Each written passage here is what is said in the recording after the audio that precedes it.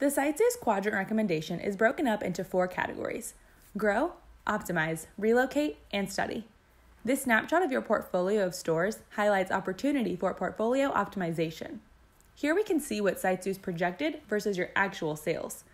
Ideally, we'll see a tight upward linear trend across all of your locations. Sites that fall off this trend will end up in the study or optimize bucket.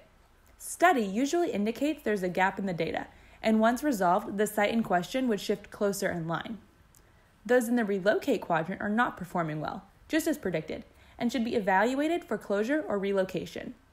Sites in the optimized quadrant should be performing better than they are. This indicates there's an opportunity to lift revenues through site optimization, which can be tested in the SiteZeus sandbox. Sites that fall in the grow bucket are already at a good place, meeting their true potential.